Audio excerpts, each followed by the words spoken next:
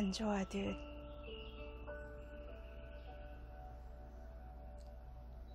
모든 것을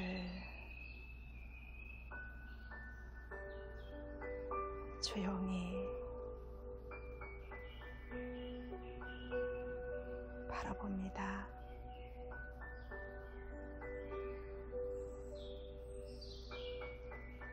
이 또한 지나갈 것입니다.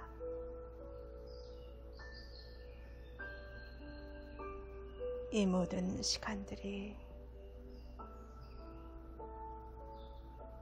이 아픔의 시간들이 지나고 나면 이 지구를 정화하고 우리 인간의 마음을 정화하고 우리의 삶을 돌아보게 하는 감사의 시간이었음을 알게 될 것입니다.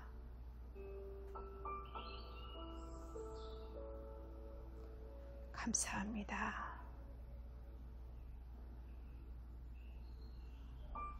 고통의 시간들이 있기에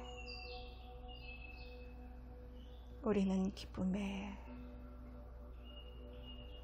순간들이 얼마나 소중하다는 것을 가슴 깊이 깨달을 수 있습니다.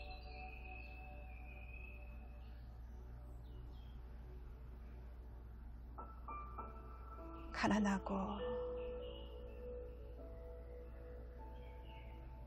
풍족하지 못한 시간들이 있었기에 우리는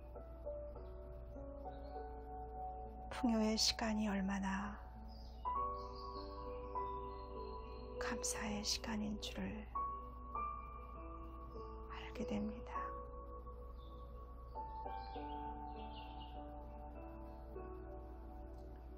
예수님의 찢김과 아픔과 절교와 같은 고통의 시간이 있었기에 우리는 우리의 아픔과 고통의 시간들이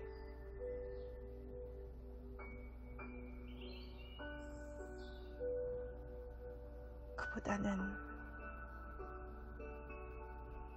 더 감당하기 쉽고 또한 그도 감당하였으니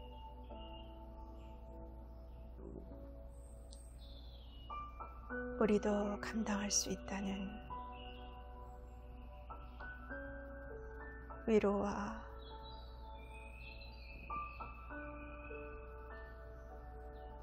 평안함을 얻게 됩니다.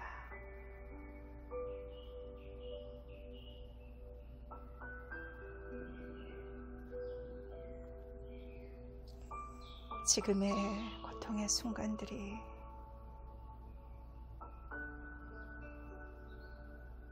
오히려 우리에게는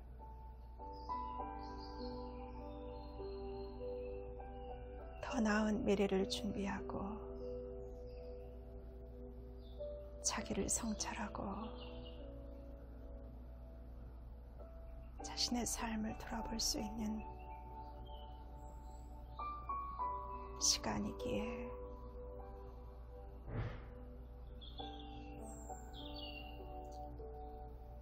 감사함으로 감사함으로 감당해 나갈 수 있습니다.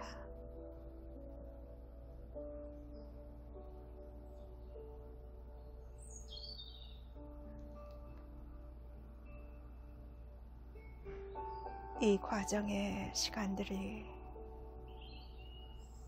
결코 헛된 시간이 아닙니다. 참으로 소중한 시간입니다. 언제 어디에서 우리가 이런 아픔의 시간들을 경험하고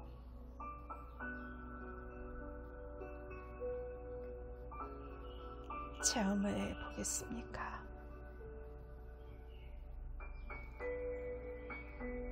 이런 시간들을 통하여 우리는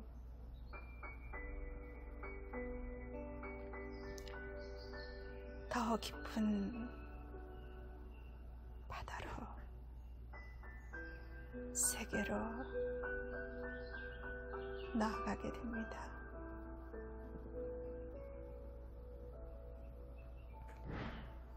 감사합니다.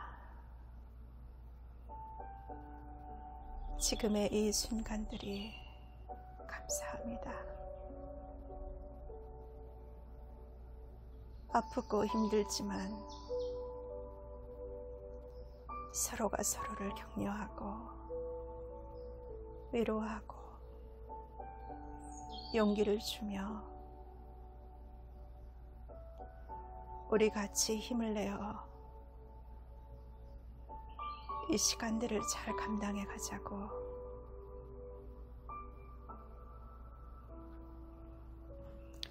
그렇게 말하는 우리가 되었으면 좋겠습니다.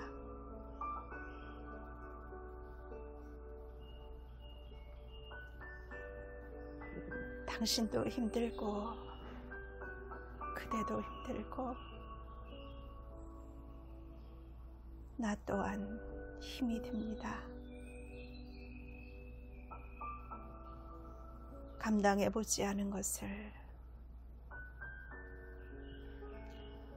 감당해 보려 하니 힘이 듭니다. 많이 아프기도 합니다. 때로는 이별의 아픔도 가져야 합니다.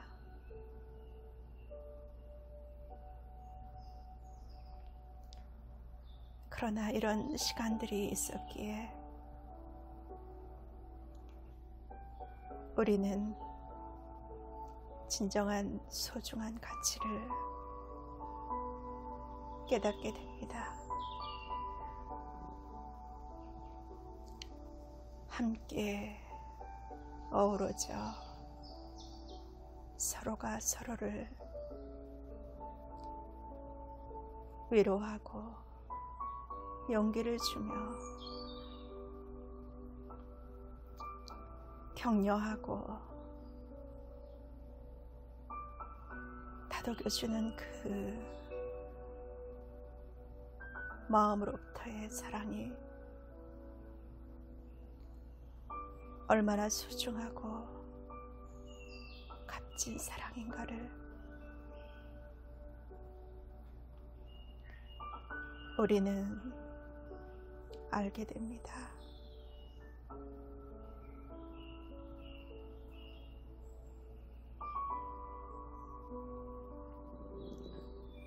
그러한 고통의 시간들이 우리의 내면을 성장하게 하고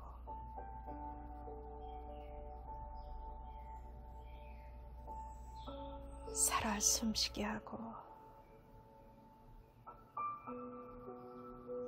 감당하고 극복하고자 하는 열망과 의지를 부여해 줍니다.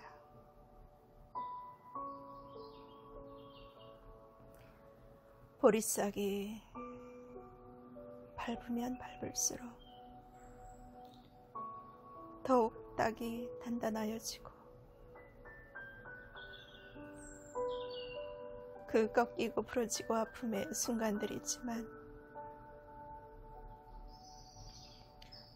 오히려 더욱더 단단하여지고 굳세게 일어나는 보리싹처럼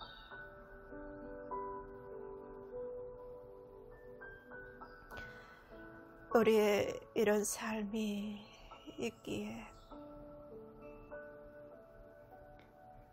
우리는 더욱더 단단해지고 강하여지고 흔들리지 않는 견고한 믿음으로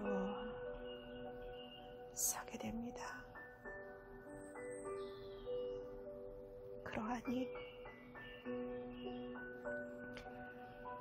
이 아픔의 순간들, 이 아픔의 과정들을 결코 원망하지 마십시오. 결코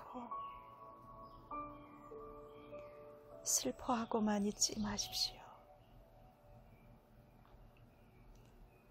적극적으로 감사하고 적극적으로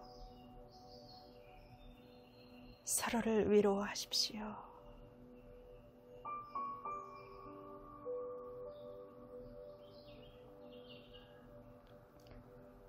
하나님은 언제나 언제나 사랑이십니다.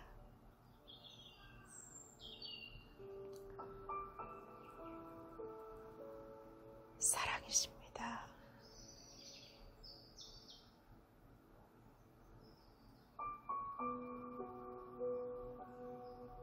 이 모든 어려운 시간들을 잘 감당하고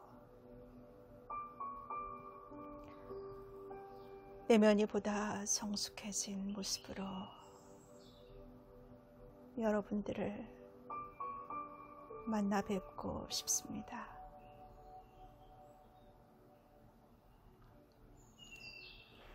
모두를 사랑하고 축복합니다. 그리고 응원합니다. 감사합니다.